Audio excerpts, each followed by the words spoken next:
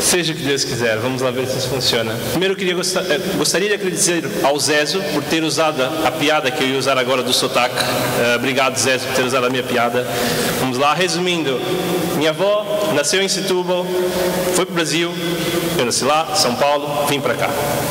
A minha avó gosta tanto, tanto de Portugal.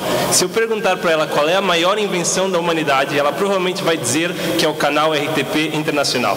Ela assiste aquilo tanto e acompanha tudo o que se passa cá: mudanças sociais, econômicas, meteorologia, exposições no CCB, é tudo. E depois liga me contando.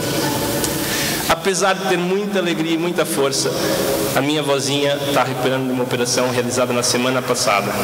Eu dedico essa talk a ela e gostava de pedir-vos uma salva de palmas para essa portuguesa. Por favor.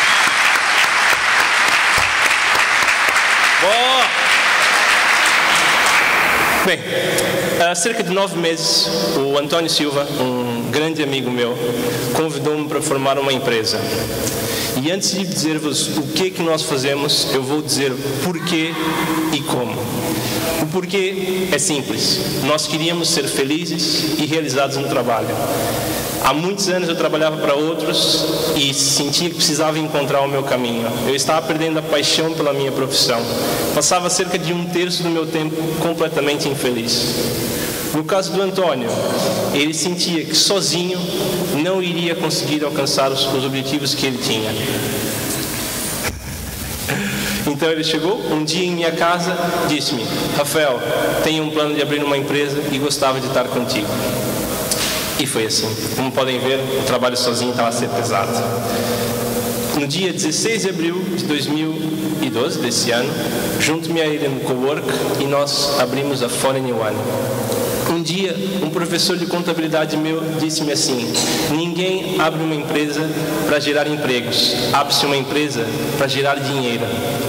Mas eu e o Antônio não concordamos com isso. Uma empresa, e a nossa empresa, foi feita para gerar felicidade.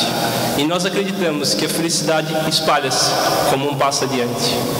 Mas como é que fazemos isso? Como é que somos competitivos? Como é que nos mantemos no mercado? É, tudo regride, mais competitividade, blá blá blá, vocês sabem disso. Nós acreditamos que a excelência é o único caminho para o sucesso.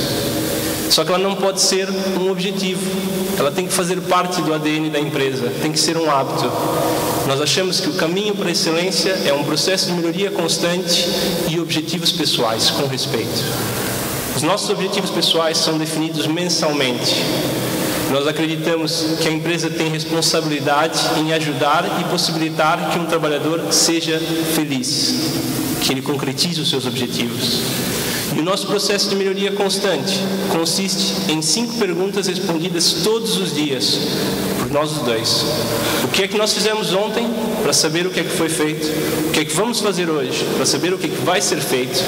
Se tive algum problema ou não durante o dia de ontem? Se gostei do que eu fiz ou não, para sabermos o que é que nós nos desempenhamos melhor e o que é que não gostamos tanto, e se tomei ações práticas para atingir esses objetivos. Esse é o nosso encontro diário. Para termos uma produtividade, uma produtividade extrema, nós forçamos muito a automatização, já que a grande maioria dos nossos projetos habituais, cerca de 70% do esforço pode e é automatizado.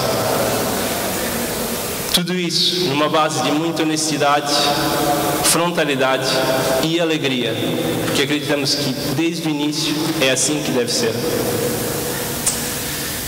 Perdi um bocado. O que é que nós fazemos?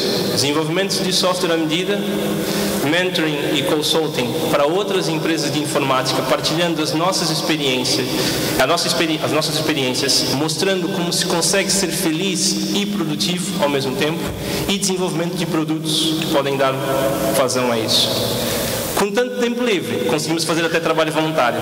A Associação O Ninho, que nós estamos a ajudar na presença da internet, promove, e o objetivo é a promoção social e humana de vítimas da prostituição. Eu sou muito feliz hoje e vejo que a felicidade no meu trabalho espalha-se para outros aspectos da minha vida.